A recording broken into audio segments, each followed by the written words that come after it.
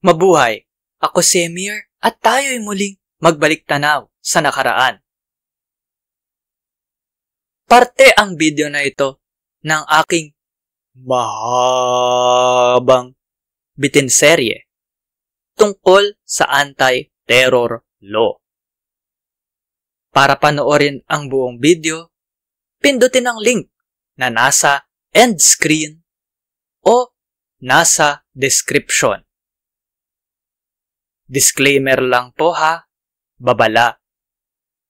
Para lang po magbigay impormasyon ang video na ito. Hindi po payong legal. Salamat po.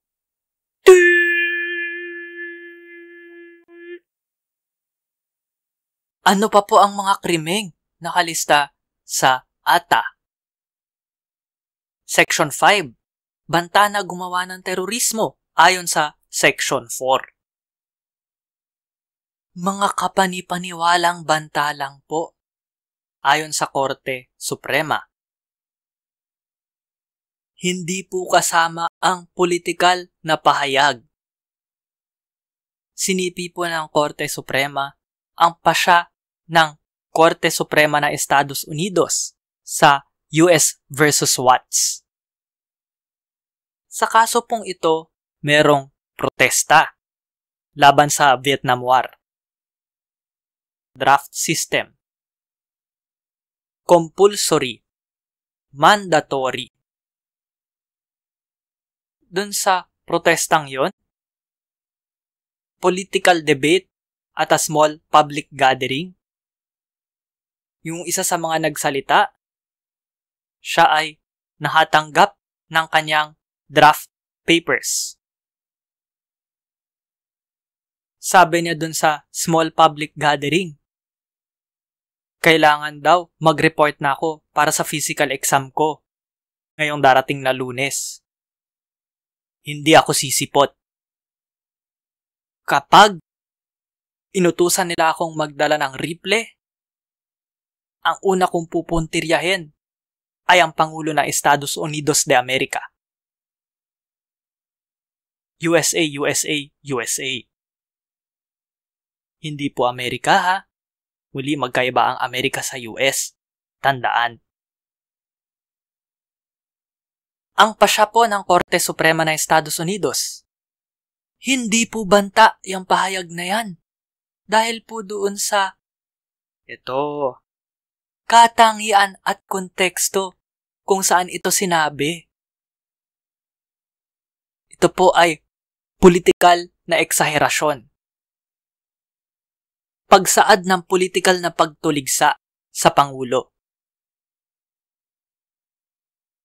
Kaya po, ayon sa ating Korte Suprema, ayon po sa Brandenburg Standard, Brandenburg versus Ohio, pasya ng Korte Suprema ng Estados Unidos, maaari lang pong parusahan ang mga pahayag o komunikasyon bilang banta. Kung una, nakadirekta ito sa paggawa ng napipinto, imminent, napipintong terorismo, at malamang magdudulot ito sa ganong gawain. Section 6 Pagpaplano, pagsasanay, paghahanda, at pagpapadali ng paggawa ng terorismo. Training, pagsasanay. Dapat may tiyak na relasyon sa terorismo. Ang kasanayan para po maparusahan yung pagsasanay o training. Hindi po kasama ang general knowledge. Yan po ang nakalagay sa definition of terms, section 3K, na inulit po ng Korte Suprema sa pasya. Dagdag po ng Korte, hindi pa mailalarawan kung ano ang pagkakaiba ng tiyak sa pangkalahatang kaalaman. Specific skill versus general knowledge. Mainam na bigyang linaw yan sa totoong kaso kung saan napatunayan kung ano ang tunay na nangyari. Ano po ibig sabihin ng tunay na kaso? Pag meron na pong habla, information, na lumabag ang isang tao sa Section 6 na ginagawa pong krimen ang pag-eensayo, pagsasanay para sa terorismo.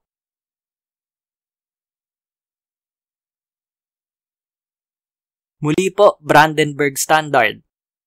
Maaari lamang parusahan ang pagtuturo, teaching, or the giving of instructions kung nakadirekta ito sa paggawa ng imminent, napipintong terorismo, at malamang magdudulot sa ganitong gawain. Section 7 naman po, no? Conspiracy. Sabwatan. Nagkasundo ang dalawa o higit pang tao tungkol sa paggawa ng terorismo at nagpa siya silang gawin ito. Section 8 po, proposal. Panukala. Ayon po sa Korte Suprema, dapat basahin ang Section 8 kasabay ng Rule 4.8 ng IRR. Pinaparusahan ang panukalang gumawa ng terorismo, yung panukala po nakapokus doon sa mga nakalista sa Section 4. Hindi po kasama kung Sections 5 to 12 ang pinapanukala. Elemento po ng krimeng pagpanukala ang decided to commit. Kailangan po yung patunayan ng Estado. Kung wala po yung elementong yan, decided to commit, hindi po pasok yung pahayag, panukala, proposal sa sukatan ng Brandenburg. Muli po, ito yung parang gasgas tayo ngayon, parang sirang plaka. Kung nakadirekta po ito sa paggawa ng napipintong terorismo, ano po yung magic word natin? Imminent. At malamang magdudulot ito sa ganitong gawain. kailangan po hintayin ang totoong kaso para linawin ang ibig sabihin ng deciding to commit. Section 9 po, inciting to commit terrorism.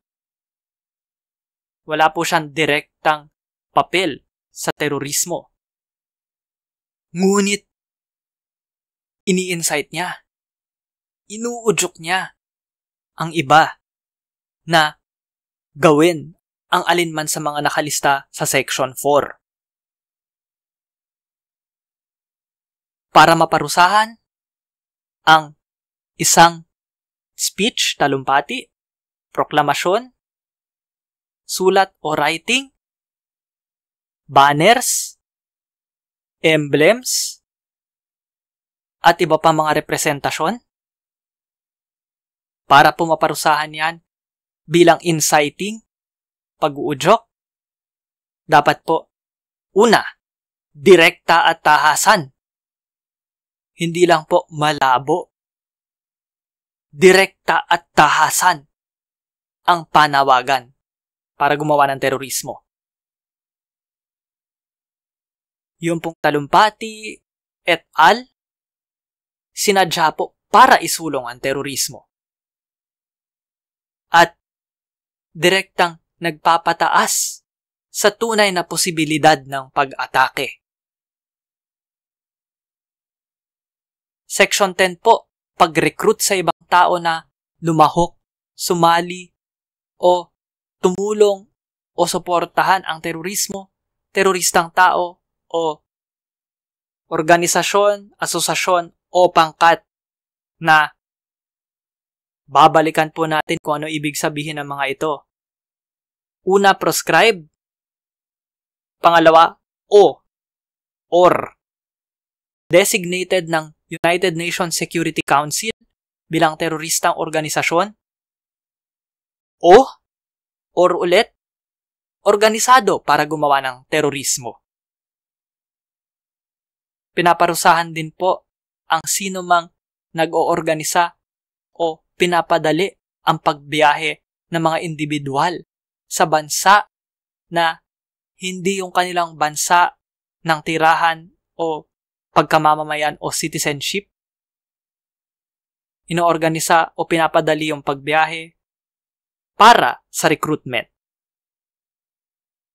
May listahan po ng kung paano ginagawa yan.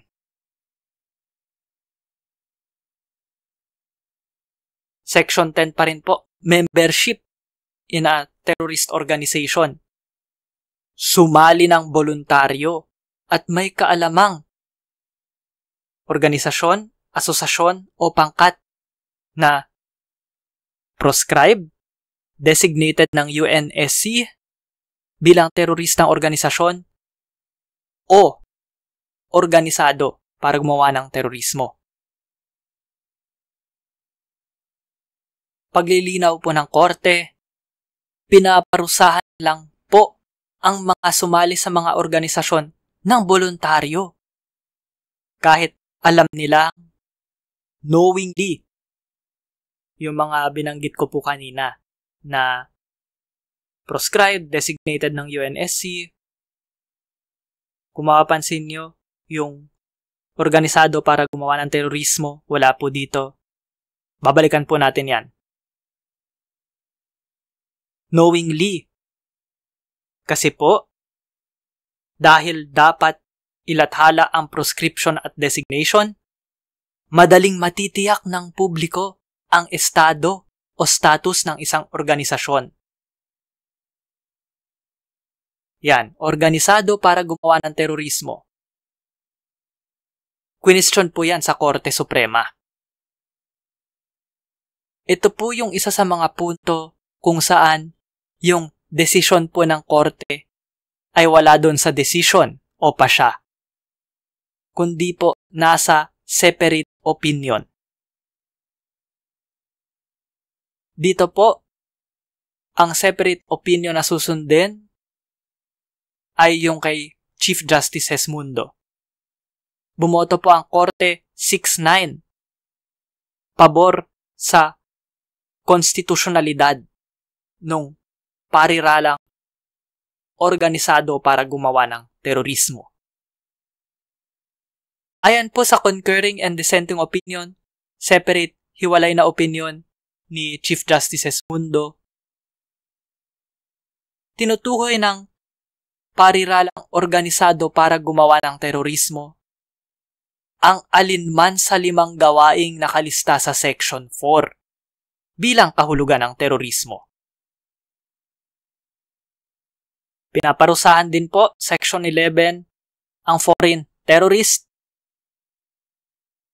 Bumabiyahe po o ito attempt, sinusubukan, bumiyahe sa isang bansang hindi ang kanyang bansa ng tirahan o pagkamamamayan para gumawa, magplano, paghandaan, o lumahok sa terorismo o magbigay o tumanggap ng pagsasanay.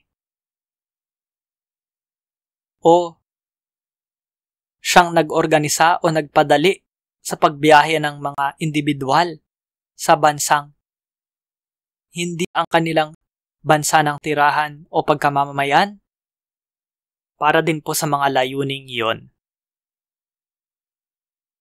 Kailangan alam niya, alam nung taong nag-organisa o nagpadali ng biyahe na yun ang layunin nung bumiyahe o naglakbay.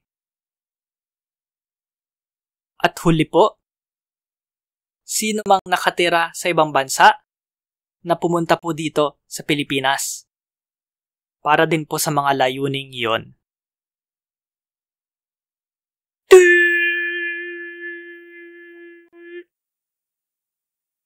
I-like at i-share ang video na ito sa social media.